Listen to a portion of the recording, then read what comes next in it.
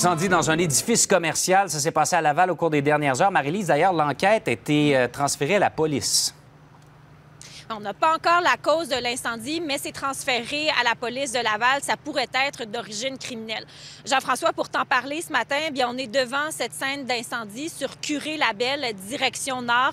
Et vous voyez à gauche, c'est l'édifice commercial qui a été touché par un incendie.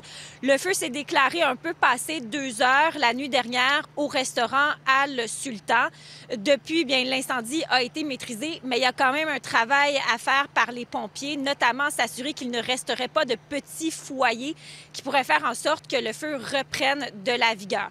Comme mentionné, on n'a pas encore l'origine du, brasier. Les dommages, vous le voyez sur les images, sont assez importants. C'est pas la première fois qu'il y a un incendie qui se déclare euh, au restaurant Al Sultan. Au cours de la dernière année, il y en a eu au moins trois avril, mai et septembre dernier.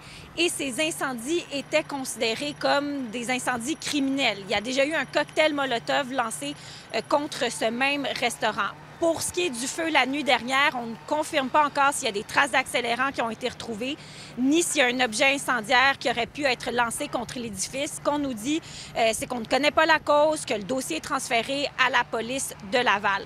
Jean-François, je termine en te parlant de l'impact sur la circulation dans le secteur à Laval. Le pont La Chapelle était fermé dans les deux directions, mais vient de rouvrir direction sud. Donc, direction Montréal, ça circule. Direction nord, c'est toujours fermé. Pour ce qui est de Curé-Labelle, bien, c'est la même chose. Direction sud, ça circule. Direction nord, c'est fermé à la circulation. Puis c'est Curé-Labelle dans le secteur euh, de l'Évêque-Ouest. Alors, voilà pour incendie qui s'est déclaré la nuit dernière. Restaurant à Sultan. Il n'y a pas de blessés non plus important à mentionner. Ça s'est déclaré alors que les lieux étaient inoccupés. Merci, Marie-Lise.